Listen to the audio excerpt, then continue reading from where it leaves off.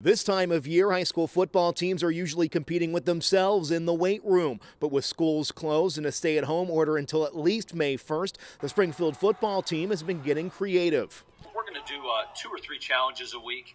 Uh, so last week between our players, uh, they, they, they, had to end up taking a, a clip of themselves for 30 seconds just doing push ups. Everyone's on board. Our whole team is like sending their videos in. We're all watching it, having a good laugh and stuff. I mean, that's definitely good for like the team bonding aspect. Guerriero is hoping something as little as push-ups will help his Tigers keep their competitive edge while being apart. We started breaking it down.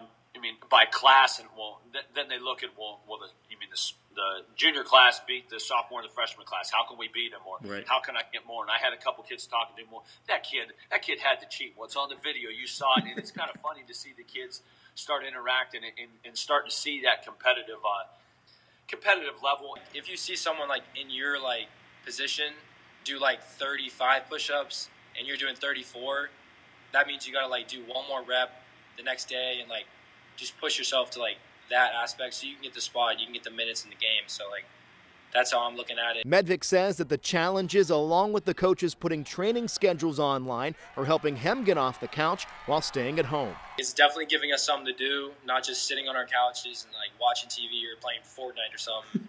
We're definitely getting up on the ground and like doing push-ups, sit-ups, and like pull-ups. I mean, it's it's definitely something better than sitting down on our butts and doing nothing. For Sports Team 27, I'm Josh Furketic.